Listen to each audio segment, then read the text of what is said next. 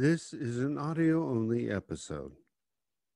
Many people believe our next subject is a saint because she had amazing things happen to her. She experienced the stigmata, the wounds of Christ. She was able to visually live the Lord's Passion. She had ecstasies in prayer and levitated. But this isn't what made her holy, and it's not what recommends her to us. Rather, it's because she did what all saints do, which is to do the ordinary things in extraordinary ways for the love of Jesus. And for this, she really is a saint who should be better known. Blessed Maria Giovanna Bonomo was born in Asiago, Italy, at her family's country estate on August 15, 1606, the first of four children born to Giovanni, a wealthy merchant, and Virginia Ceschi de Santa Croce, who hailed from the nobility. Legend has it that she was somehow baptized in the womb due to fears her birth might not end well. And since it was the solemnity of the Blessed Virgin Mary, August 15, and it was assumed she would be a girl, that is how she was given the name Maria. In thanksgiving for her safe delivery, her father made a pilgrimage to the holy house at Loreto. When Maria was just 10 months old, she received from heaven the power of speech and evidently obtained this ability to stop her father from committing some wicked act. And then at just five years old, by divine inspiration, she had already penetrated the mystery of the Eucharistic real presence. She also learned and spoke Latin well, even though she never had a lesson. As a child, Maria and her mother were frequently alone because her father was often away on business. In one instance, he was also away at jail. He had a quick temper and had stabbed a man. One day during his incarceration, his wife was told by their daughter, whom she had taught to pray from the earliest possible moment, Dear mother, cheer up. Dad will be back soon. Virginia believed her daughter was relating some beautiful dream she had had, but Maria insisted, I have seen he has been released and he will soon be here with us. Dawn had not yet come upon the following day when Giovanni came knocking at the front door. Of her mother, Maria later said, She seemed more religious than secular. She dressed in black and divided her time between her household duty and exercises of piety. However, when Maria was just six in 1612, Virginia caught a malignant fever and died. Before she passed, however, she urged her husband to afford their daughter, quote, every convenience so she can consecrate herself to God. From the same country home into which Maria entered the world through her mother, the blessed now had a vision of her mother going out of this world into the blessing of heaven, enveloped in a beautiful cloud. It must have been an incredible grace. For the rest of her years in her father's home, Maria wasn't interested in fine clothes or such material vanities as other young girls of her age and station. Instead, every morning she went to the parish to hear Mass each day she recited the office of the Blessed Virgin. And so we see this pattern that started in childhood and continued in her adult life of being very unusual. No matter the stage of her life, she did things people did not expect her to do. Keep in mind, she was just a small child at this point. Three years after Virginia's death, her father, unable to attend with due dignity to Maria's education, took her to the Poor Clare Monastery of Santa Chiara in Trent. The sisters provided her with a fitting education due her rank and according to the customs of the time. She learned religion, literature, music, embroidery works, and dancing. At night, she would go and kneel in front of the altar rail before the chapel sanctuary and the tabernacle therein, insensitive to the need for sleep or the cold. In this way, she discovered her vocation to the contemplative and penitent life. It was because of such factors that her confessor discerned she should receive her first Holy Communion.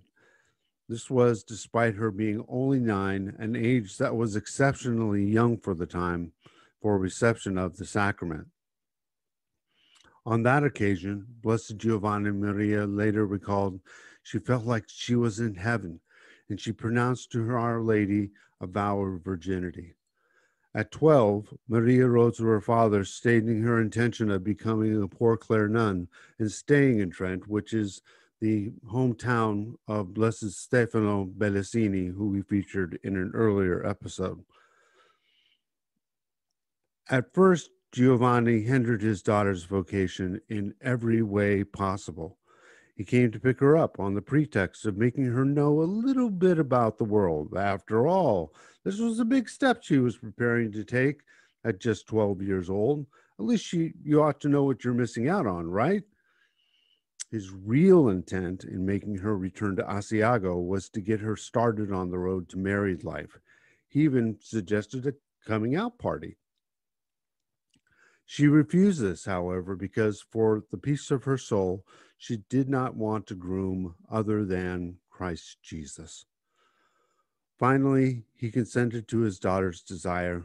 However, he reserved the right to choose the order and the monastery she would enter. For the time being, she returned to Trent to finish her schooling. In the town's church of Santa Chiara on Sundays, she accompanied Mass with her violin playing, producing a sound so enticing that it attracted large crowds who stood outside the church walls to hear her play. Finally, at age 15, on June 21, 1621, Maria entered the Benedictine monastery of San Girolamo in Bassano del Grappa. Her father chose this place because his family had several relatives who were already here. Here she continued her path to perfection by following the three traditional ways the purgative, the illuminative, and the sensory. She did this by intensifying her prayers, fasting, and flagellating herself with the discipline, which is a cord of knotted rope, and keeping long hours of silence. She was given the name of Maria Giovanna and went by the name of Sister Giovanna. And on September 8, 1622, she professed her vows of poverty, chastity, and obedience. It was at this time that, in a mystical vision, she saw Our Lady, Saint Benedict, and various saints and angels, and around her neck they placed three golden cords representing her three vows. Her life became studded with the most amazing apparitions, and for about seven years she received many graces and was able to enjoy heavenly joy, especially in her frequent mystical experiences, which became ever more intense when receiving communion. She also had the gift of bilocation.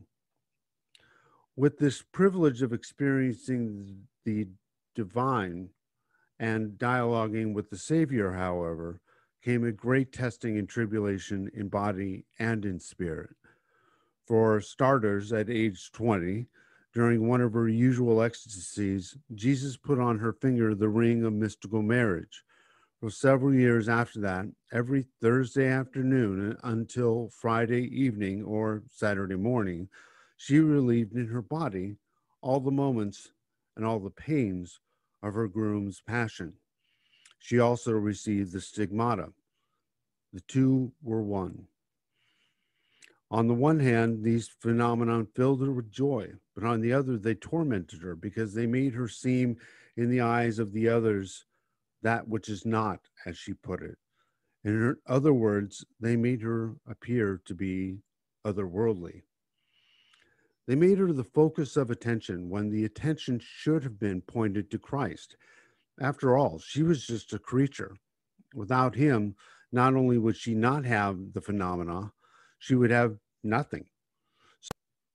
So, sisters prayed in, intensely until she was granted that the stigmata disappeared. Also, from that point on, the ecstasies and the experience of the Passion happened only at night. This allowed her to lead a normal life in the monastery by day. Not surprisingly, these phenomena caused her reputation for holiness to spread. To the door of the monastery, the visits of the curious and the needy overflowed. These masses came and went in a constant stream, all asking almost arrogantly to see the saint, the nun of miracles.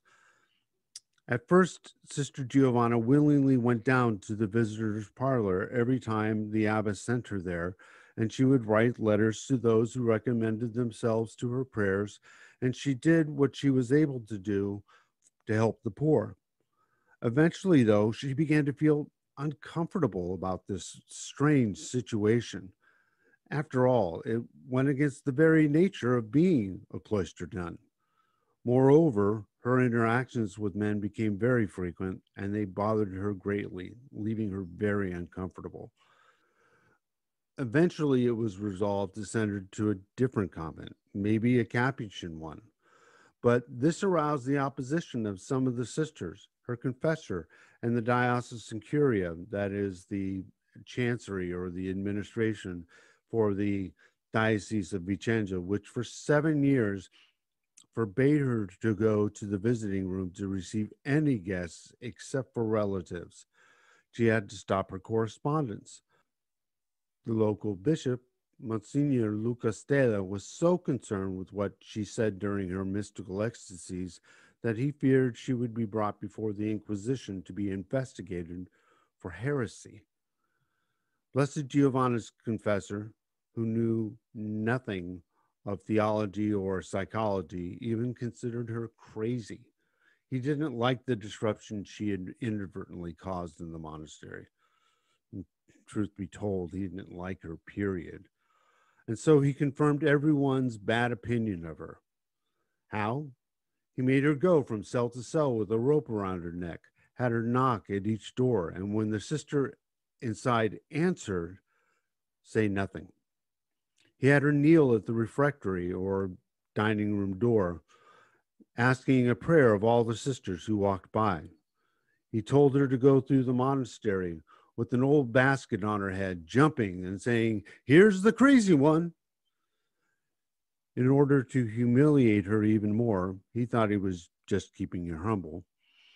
He imprudently ordered the nuns to go in procession to the cemetery and to make a circle around Sister Giovanna, who was made to lie on the ground at the side of an open grave with her fellow religious reciting in full the office of the dead.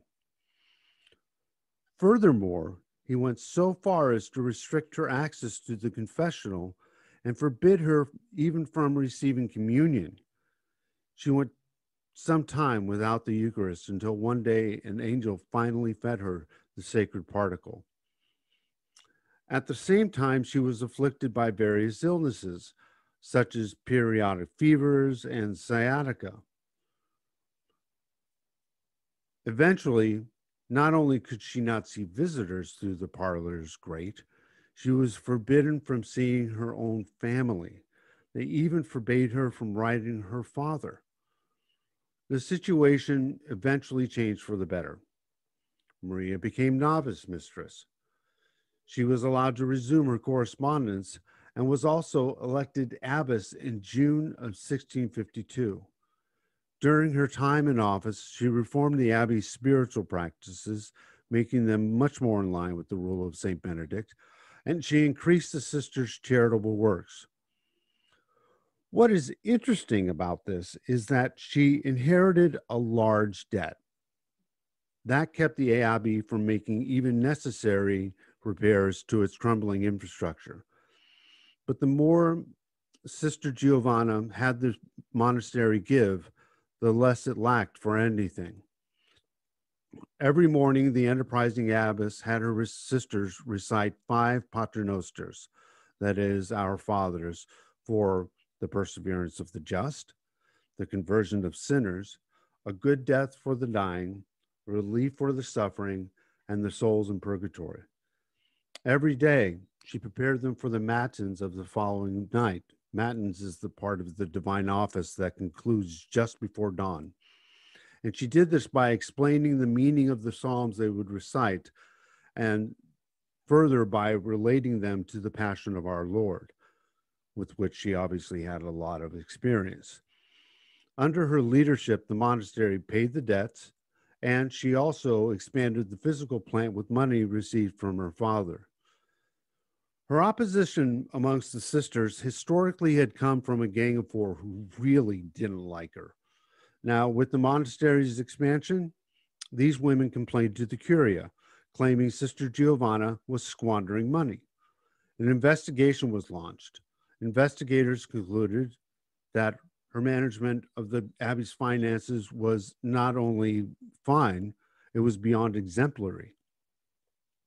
On August 1, 1655, she was elected prioress, a post she held until 1664 when she was re-elected abbess. By her now new confessor's orders, it was at this time that she set down again her memoirs. Twice she had begun this project, but twice she had set it on fire. She taught the nuns that holiness does not consist in doing great things, but performing the ordinary and simple things in an extraordinary way. She gave the same advice to many outside the cloister, even the nobility who came from all over for her advice about their doubts, their worries, their material, and their spiritual needs. Not for nothing, therefore, was she called the nun of good advice. Additionally, many needy people enjoyed her great charity, a virtue that, together with humility and heroic patience, were the characteristic of her life. But by now, she was old. Yes, full of wisdom, but also suffering from memory loss, racked with pain, walking with a cane, and these and other maladies finally forced her to bed. She prepared for her expected death by praying, meditating about the passion of the Lord, and kissing the wounds of the crucified one. She passed on March 1st, 1670. The center of her spirituality was the figure of Christ, the mystical spouse, contemplated in the most important phases of his earthly life, as we see from her writings, among which stands out Meditations on the Passion of our Lord Jesus Christ as well as numerous remaining letters. So many miraculous healings were attributed to her intercession that in 1699, her beatification process was introduced and ended on June 9, 1783, when Pope Pius VI solemnly beatified her to the great joy of the population and around the Veneto region, and in particular of Bassano del Grappa and Asiago, which acclaimed her their patron. The last miracle attributed to her occurred in her home country during the First World War when, despite the furious bombardment that destroyed all of Asiago, the statue dedicated to her in 1908 and which stood in front of her birthplace inexplicably remained intact. Blessed Giovanna Maria Bonomo did extraordinary things and had extraordinary things happen to her. But this extraordinary life didn't just happen.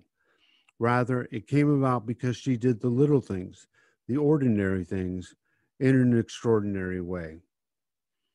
How might we do things, the little things, the simple things, the ordinary things, in an extraordinary way for the love of Jesus, just like she did?